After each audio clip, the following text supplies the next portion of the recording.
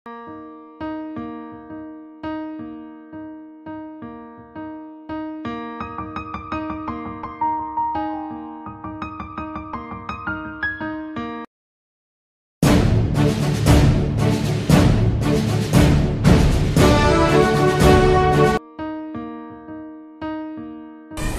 വീണ്ടും ഒരു സ്വാതന്ത്ര്യദിനം ആഘോഷിക്കുകയാണ് പല രീതിയിൽ പല ആഘോഷങ്ങളിലൂടെയാണ് നമ്മൾ സ്വാതന്ത്ര്യദിനം ആഘോഷിക്കുന്നത്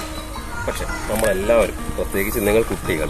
മറ്റുള്ളവർക്ക് നന്മ ചെയ്തുകൊണ്ട് വേണം ദിനം ആഘോഷിക്കാം അങ്ങനെ ചെയ്യില്ലേ അപ്പോൾ എല്ലാവർക്കും സ്വാതന്ത്ര്യ ആശംസകൾ